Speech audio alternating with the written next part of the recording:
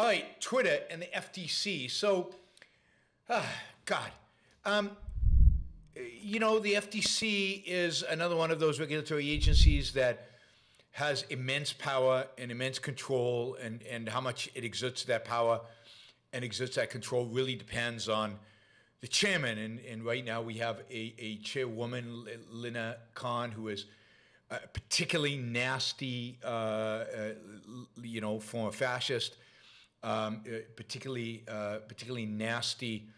Uh, in the sense that she believes that everything should be controlled from above, everything should be controlled by the state. She's a real central planner. She's a big believer in, in, in breaking up big tech and using antitrust to go after them.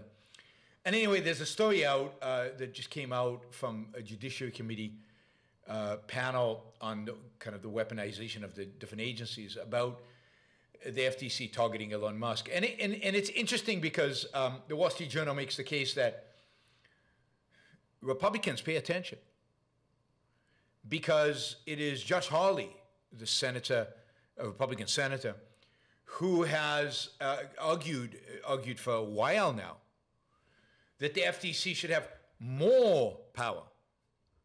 The FTC should be given more power to control media, particularly social media platforms. Beware of what you ask for. Beware of what you ask for, right? She is a, a Republican, right? A Republican, um, advocating for more power to the FTC and has been for a long time, using uh, with the hope that, of course, they dominate and they get to appoint the people at the FTC, and then the FTC gets to do their bidding. But when a Democratic uh, when a dem- Democratic president is in power, uh, the FTC gets to do his bidding. All right, so it turns out the FTC has targeted Elon Musk uh, and his takeover of Twitter at the behest of kind of progressives, as you'd expect.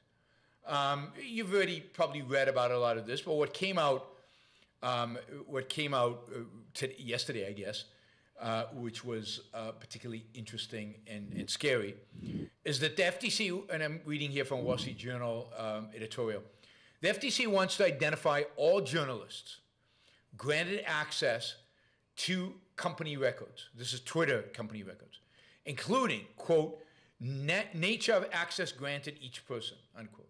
It is also asked, uh, I'm continuing to quote from the Wall Street Journal, it is also asked if Twitter had conducted background checks on the journalists, among other things. So, he, so, so again, this is the Wall Street Journal. Here we have a federal agency demanding that a private company disclose its interactions with a free press, including how much it snooped on those reporters. And just be clear, none of this is the business of government. The government has no business in figuring out what reporters did or didn't do, private companies did or didn't do. There's no argument of fraud here. So, what is the government intervening here? This is a, a, a clear potential violation of, uh, you know, free speech, but this is just just government snooping around in the files of uh, Twitter, trying to find bad stuff, trying to identify, quote, bad journalists. For what? None of this is relevant. None of this is the government's business. But this is what happens when you give regulatory agencies, agencies of the executive branch, basically unlimited power or undefined unlimited power where, where, where the, the, the, limitation in the power might be in some bureaucrat's head.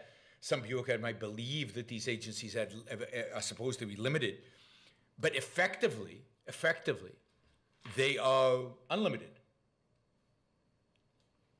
There is no, oops, I'm looking at the wrong cable. I'm trying to connect the cable with a plug, and, all right, not going well. Yep, wrong one. Another time. All right, um, it's scary scary kind of stuff happening. And, and this is just one agency, one little item. Uh, the FTC is doing a lot of nastiness. There's a lot of nastiness that has to do with Twitter. Uh, you know, the left is using the fact that they have the machinery of power to go after their political opponents, uh, just as Republicans do.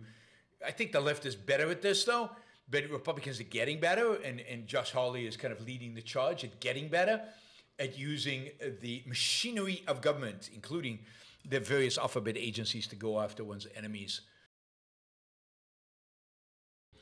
Thank you for listening or watching the Yaron Brook's Show. If you'd like to support the show, we make it as easy as possible for you to trade with me. You get value from listening, you get value from watching. Show your appreciation. You can do that by going to yaronbrookshow.com slash support, by going to Patreon, Subscribestar, Locals, and just making a appropriate contribution uh, on any one of those uh, any one of those channels. Also, if you'd like to see the Yaron Brook Show grow, please consider sharing our content and of course subscribe press that little bell button right down there on YouTube so that you get an announcement when we go live. And for you, those of you who are already subscribers and those of you who are already supporters of the show, thank you. I very much appreciate it.